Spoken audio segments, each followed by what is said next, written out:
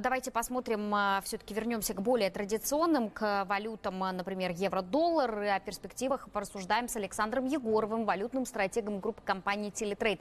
Александр, добрый день. Скажите, пожалуйста, какие самые значимые события мы можем ждать в ближайшие дни в отношении американского доллара европейской валюты? Как будет складываться конъюнктура для динамики этой валютной пары?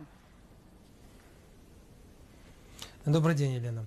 Ну, во-первых, конечно, евро-доллар в последнее время очень сильно консолидируется. Мы практически не наблюдаем заметных движений. А при этом вот диапазон сам, который будет определять дальнейшие перспективы, это с нижней границы приблизительно 1,22, сверху это приблизительно 1,2470. Вот пробой этих границ уже задаст более среднесрочные перспективы. Из ближайших событий завтра будет выступать Марио Драги. И вполне возможно, председатель Европейского центрального банка предпримет какие-то меры, чтобы ограничить рост евро, потому потому что все-таки сильный евро сдерживает а, планы ЕЦБ по достижению инфляционных а, целей. При этом э, следующее событие – это э, ФРС США, э, хотя там повышение ставок уже практически заложено на 90%, но просто интересно, какова будет реакция рынка. В целом, вот в ближайшей перспективе именно эти два события определят тенденции евро-доллара. Вот сейчас был опубликован несколько минут назад а, отчет по инфляции в Соединенных Штатах. Это тоже очень важный показатель для ФРС США. Ну, в общем, реакция была первая, по крайней мере, против доллара. Я вот сейчас несколько минут назад не смотрел уже, как происходит событие.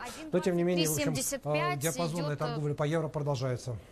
Да, сейчас э, прибавляет Уже европейская... 1,7375, я понял. Да. Растет евро немножко, да. А что это будет значить для российского рубля? Ведь мы сейчас видим, как уже из роста рубль перевернулся в отношении евро к, наоборот к снижению. И выше отметки уже 70 рублей 23 копейки торгуется европейская валюта. Будет набирать дальше свои позиции? Да, вы знаете, по рублю сейчас ситуация, конечно, такая достаточно напряженная. Ну, с одной стороны, мы понимаем, у нас э, политический процесс, выбора президента – это стабилизирующий фактор э, для рубля. С другой стороны, есть политическая напряженность со стороны возможных санкций со стороны Великобритании и Соединенных Штатов из-за вот этого химического скандала. То есть, в целом, рубль сейчас находится тоже под перекрестным событием, поэтому э, волатильность на локальном рынке, я думаю, в ближайшее время возрастет.